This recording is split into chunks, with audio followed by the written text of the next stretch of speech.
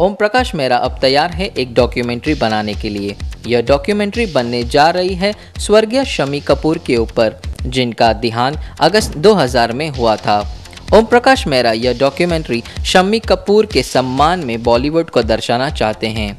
शम्मी कपूर एक ऐसे अभिनेता थे जिन्होंने फिल्मी दुनिया में डांसिंग स्टार बनकर आए। यानी कि वह पहले अभिनेता थे जिन्होंने डांस का फिल्मी फंडा बॉलीवुड इंडस्ट्री में लाया। इंतज़ार है तो बस यही कि यह डॉक्यूमेंट्री कब बनकर तैयार होगी।